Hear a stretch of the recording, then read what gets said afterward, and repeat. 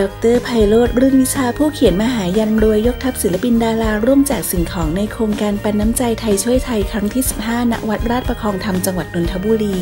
ยังคงเดินหน้าอย่างต่อเนื่องค่ะ ในการจัดกิจกรรมช่วยเหลือสังคมและประชาชนที่ได้รับผลกระทบจากสถานการณ์วิกฤตการแพร่ระบาดของเชื้อไวรัสโควิด -19 ค่ะ และประสบปัญหาอุทกภัยสำหรับดรไพโรธรื่นวิชาค่ะ ผู้เขียนมหายันรวยค่ะ แบ่งปันน้ำใจส่งมอบข้าวสารอาหารแห้ง ภายใต้โครงการปันน้ำใจไทยช่วยไทยครั้งที่ 15 ค่ะจำนวน 3,000 กว่าครอบครัว ณ วัดลาดประคองธรรมจังหวัดนนทบุรี โดยมีพระครูกิติวิริยาพรค่ะ เจ้าอาวาสวัดลาดประคองธรรมค่ะ ให้การต้อนรับพร้อมด้วยพลตำรวจตีมณฑลและภรรยาคุณสจีทิพจันทร์ค่ะ นอกจากนี้ค่ะ ดรไพโรธค่ะ ยังยกทัพเหล่าบรรดาลูกศิษย์ดาราคนดัง ไม่ว่าจะเป็นสมรักคำสิงค่ะ สิตางบัวทอง สมจิตจงจอหอค่ะ เหลือเฟือมกจก ยุ้ยเกษดินและเปิ้ลไอริน ที่ได้มาร่วมทำกิจกรรมเพื่อสังคมภายใต้โครงการปันน้ำใจไทยช่วยไทยครั้งที่15กันค่ะ เราไปฟังดรไพโรธและเหล่าคนบันเทิงค่ะ พูดถึงกิจกรรมเพื่อสังคมในครั้งนี้กันเลยดีกว่าค่ะ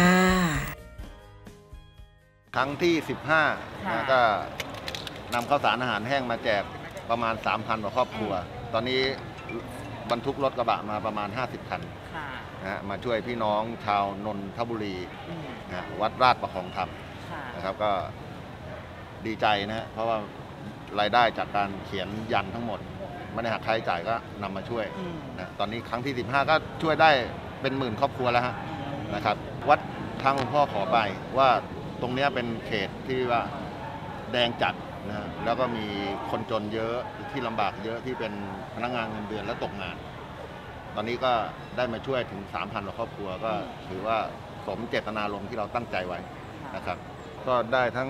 เหรียญทองโอลิมปิกนะทั้งสองท่านมาช่วยนะ แล้วก็ได้แม่สีตังบัวทองที่เหลือเฟือพ่อแอดเยอะแยะหลายคนนะครับ วันนี้มาร่วมงานก็ดีใจนะครับที่ทุกคนให้ความช่วยเหลือคนไทยด้วยกันตอนที่ตกทุกข์ได้ยาก ครับผมก็ถือว่าเป็นตัวอย่างที่ดีให้กับสังคมนะครับ อาจารย์ไพโรธลิวิชาก็นำลูกศิษย์รวบรวมผู้ที่ศรัทธานะครับ ก็ทำหลายอย่างครับ ช่วยเหลือซึ่งกันและกันไม่ว่าเป็นการช่วยผู้คนยามตกยาก สร้างโรงเรียนสร้างโบสถ์ ทำเยอะนะครับทำเยอะนะครับ ก็ก็นอกจากอาจารย์จะเขียนยันให้ให้ผู้ที่เดือดร้อน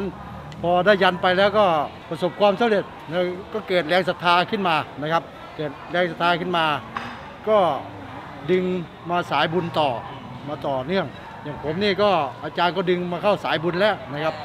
แต่ก่อนอยู่สายวงการมวยอย่างเดียวเลยปลื้มใจครับครั้งนี้คือใหญ่ ๆ ก็เป็นครั้งที่ 15 แต่จริงๆย่อยๆที่พวกเราทำมากับอาจารย์นี่ก็หลายครั้งแล้วนะครับ แล้ววันนี้ยิ่งโดยเฉพาะเมื่อกี้ผมเดินไปดูชาวบ้านนะครับเห็นรอยยิ้มเขาแล้วก็มีความสุขครับต่อด้วยเจตนารมณ์ของอาจารย์นะครับดรชโรบุญวิชานะครับท่านมีเจตนารมณ์ที่ว่า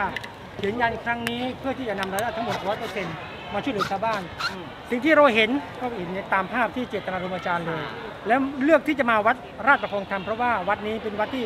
เผาศพโควิด เยอะที่สุดในประเทศไทย เพราะฉะนั้นความยากลำบากของพี่น้องละแวกนี้เยอะแน่นอน เพราะฉะนั้นเราจะเห็นว่าวันนี้รอยยิ้มผู้ให้รอยยิ้มผู้รับมีอย่างความสุขอย่างแน่นอนครับครับก็ทำต่อไปเรื่อยๆฮะทำต่อไปเรื่อยๆ ตอนตอนนี้ก็โควิดก็ยังเยอะอยู่นะวันประมาณหมื่นหนึ่งบวกลบอยู่ แล้วก็ยังไม่รู้จะเกิดคัตเตอร์ใหม่หรือเปล่า แล้วก็อีกส่วนหนึ่งตอนนี้เนี่ยน้ำท่วมด้วย